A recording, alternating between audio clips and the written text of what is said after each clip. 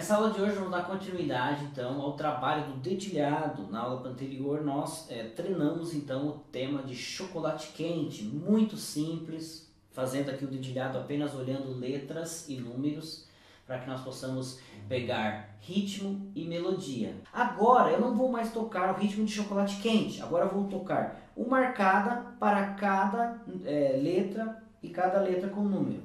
Linha 1. Um.